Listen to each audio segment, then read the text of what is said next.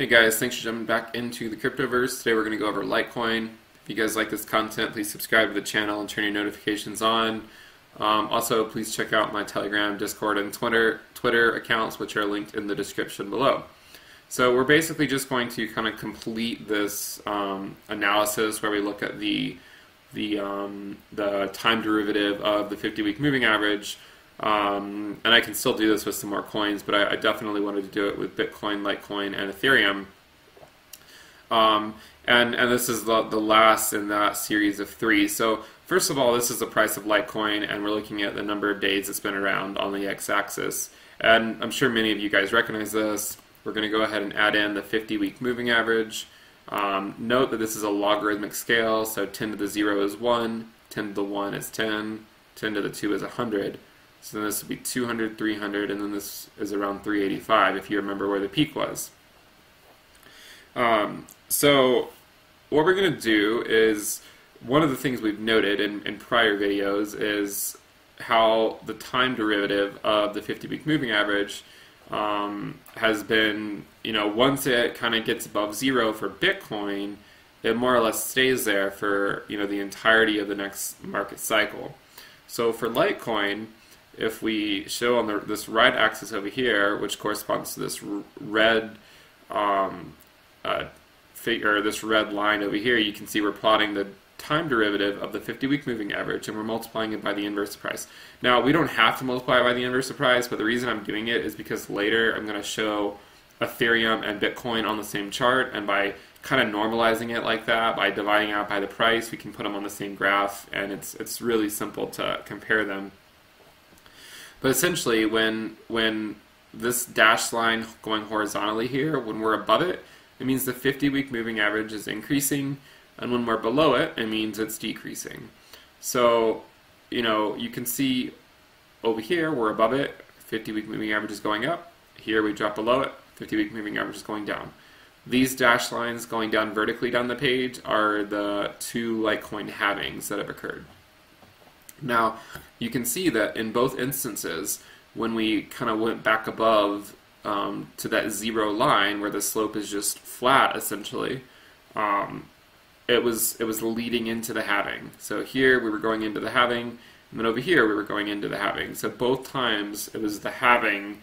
It appears that the halving is what ultimately kind of helped the price, um, uh, you know, go back up, and then ultimately the 50-week moving average um, started to to um, level out.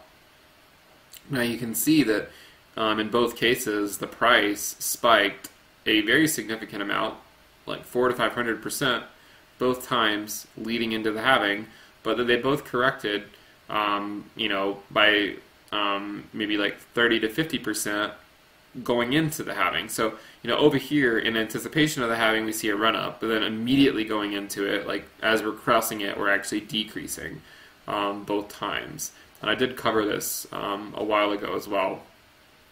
So there are there is a key difference. Um, in in 2015, when we came up, we held that 50-week moving average as support, and now we have not held it as support in 2019. Um, but we are going to keep trugging along here. We'll talk about this a little bit later. Um, uh, so let's just keep chugging along and look at uh, how it compares to, to Bitcoin. So here we're looking at days since inception and the time derivative of the 50-week moving average times the inverse of price for Litecoin and Bitcoin.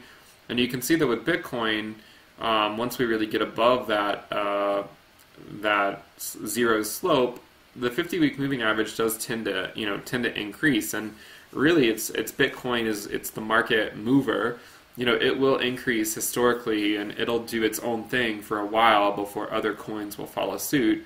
And in the past, there's been key milestones at which point these other coins will take off. Um, and for Litecoin, it is the last market cycle, it did not really take off until Bitcoin reached its previous all time high, and then again at the end of Bitcoin's bull run.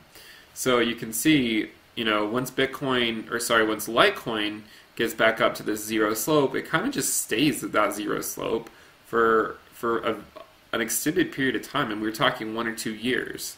And you can see back here, if we look at the price, I mean, this is what we were doing for one or two years. We were more or less just staying um, uh, pretty flat until Bitcoin reached its previous all-time high, and then that is when Litecoin took off, and then it took off again over here at the end of Bitcoin's bull run. So if we put Ethereum on here too, you know, you can see it, it, it, They all seem to be fairly similar. I mean, you know, they all they all rise together in a sense. They all fall together, um, and then they all eventually cross that zero slope where the the the, the slope goes from being negative to positive. Now, this is showing days since inception. I think it'd be obviously wise to look at just a general time axis. So here, you can see as each coin gets introduced, we have Bitcoin has its first bear market, pops back above on this time derivative, and then bull market, bull market, Litecoin is introduced. Um, Litecoin does really well, Bitcoin does really well, bear market. They both go above zero. Bitcoin enters the bull market first, where it, it reaches its previous all time high. Um, then Litecoin enters it, and then Ethereum is brought into the party, and then they're all doing really well, really well. Bear market again. Now we're all going back up to this zero slope, and we're hoping that Bitcoin can maintain um, a healthy distance from this zero slope so that we can try to get back into that bull market, which we're not currently in um, for a variety of reasons. So let us, um, you know, I, I thought about showing the 100 week moving average, the time derivative of it, but I thought it would be a little bit redundant and I didn't want to just hammer you guys with the same information over and over. So I actually want to pull up one of these charts, which you don't often see me pull up, so you know there's a reason. Um, you know, as I mentioned, we're not really, you know, Litecoin isn't holding the, um, it's not holding that 50 week moving average. Let's go ahead and pull this up on the weekly, um, like it did back in, in 2015. Um, so clearly this doesn't have, uh, yeah, so you can see here we held the 50 week moving average and then here we fall in below it. And we're just going to go ahead and hide the 200 week because we don't really care about it right now. Um, let's just take a, a, measured move here. So we're going to go from the bottom right here before this run all the way up to the top. Um, and I mean, we could all, we could go all the way up to the, the wick of that uh, that candle, but let's just go to the body of the candle, the top of the body. So it's around 280 percent, and then we're gonna and it was it occurred over 77 days, and then now we're going to take another measured move to the bottom. So it, occur, it occurred about over 56 days. So it was a 280% gain, followed by about a 50% loss. And then over here, we're going to do the same thing. We're going to take a measured move from candle to bottom to candle top, around a 465% gain, so pretty significantly more than this. Um, and then followed by a so far around a 70 68% drop. Um, now let's let's let's note something here. So let's note these ratios to see if they're about the same. So 77 and 56. Um, so let's just go to Wolfram Alpha um, and uh, let us just put that in. So we're going to go um, 77 over 56.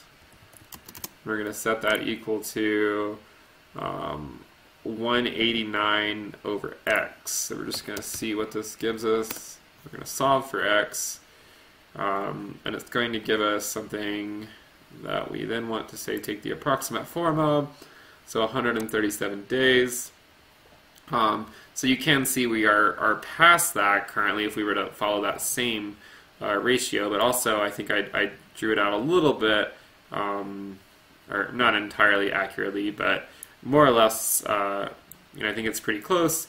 Um, but you can imagine that, you know, when we see a, a, a larger gain over over here, it was also followed by a a steeper drop is or not maybe not steeper but just a more extended drop i mean you know this this run up here was in a sense almost dwarfed by this run up here if you're just looking at the candles and so this you know, this correction here was not nearly as bad as this correction over here. Um, now, if we were to repeat the past, then pretty soon um, we would, you know, we would likely see something where um, we start, you know, leveling out. Okay, so I don't know if that's going to happen. Um, this is just if we were to repeat the past, and um, basically, you know, just did more or less stay the, or if the light the price of Litecoin more or less just stayed the same until Bitcoin reaches previous all-time high, you know, plus or minus 10, 20 bucks, I, you know, those things aren't really that relevant. And clearly, the, you know, what Litecoin does is going to be highly dependent on what Bitcoin does. So, I mean, if Bitcoin were to drop a couple thousand dollars tomorrow, then obviously Litecoin is going to drop with it. It's just, it's just how how it works. Um, so, so keep that in mind. Um, but I, I, do think it's interesting, you know, just looking at um, these, you know, how these are very similar, these these trends, which is why I pulled this pulled this up. I mean, you can see we had, um, you know, bull market, bear market, run up to the halving. Going into the halving, we decreased, and then we stayed flat until Bitcoin reached its previous all-time high. We've kind of repeated it so far: bull market, bear market, run up to the halving. As we go into the halving, we're going down. The only thing we haven't done yet so far, if we were to continue to repeat the last cycle, is just find our bottom and then just essentially hover around that. I mean, and it can it could vary. I mean, you can see here we we oscillated between say three dollars and you know five five dollars and fifty two cents or so. So I mean, it's not out of the question that um, we would you know oscillate by several tens of dollars. Um, for an extended period of time, if we were to continue emulating what Bitcoin or what Litecoin did in the last market cycle. So um, I hope that guy. I hope that is somewhat informative for you guys. Um, I mean, remember this is you know the purpose of this video is to show these time derivatives and show that historically, once we get back to that zero slope, we we hold that region. Litecoin holds that region. Um, at least it has in the past, and so is Bitcoin, and so have a lot of other coins. Um, you know, once they show that healthy growth back up, you know, we'd, we'd like to see a, at least maintain that for a little while, um, get that 50 week moving average slopes level out, and then ultimately um, have it increase again going into the bull market.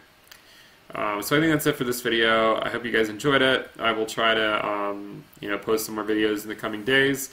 Again, if you guys like this content, please subscribe to the channel and turn your notifications on, and be sure to check out um, the Telegram uh, channel and my Twitter account in the description below. Until next time, guys. Until next time, bye.